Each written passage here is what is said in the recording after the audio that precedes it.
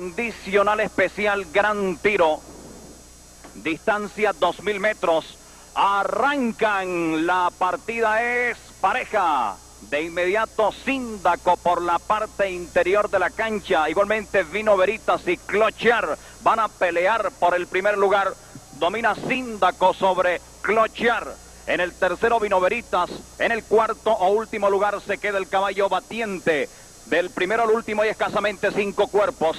Están girando el primer codo en 25 segundos y un quinto los primeros 400 metros en la condicional especial Gran Tiro de la temporada oficial de 1987 con Síndaco adelante en el segundo Clochar con Vino Veritas y Batiente aparece en el último lugar. Ingresas así a la recta de enfrente con Síndaco dominando la prueba Síndaco con Ángel Francisco Parra en la punta. En el segundo, Clochar con Juan Vicente Tobar. En el tercero, Vinoveritas con Rafael Bravo Gómez. Y en el cuarto lugar o último aparece Batiente con Argenis Rosillo.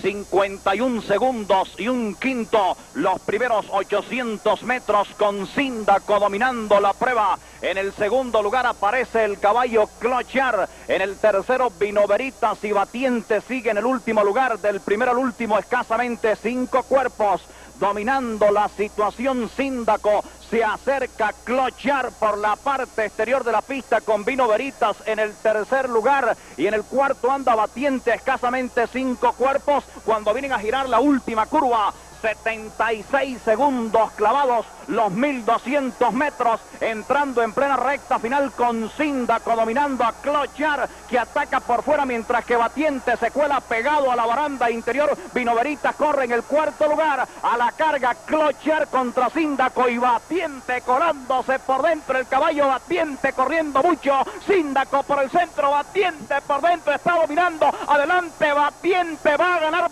Batiente, ganó Batiente. En el segundo, Síndaco. Tercero, Clochar. Último, Vinoveritas.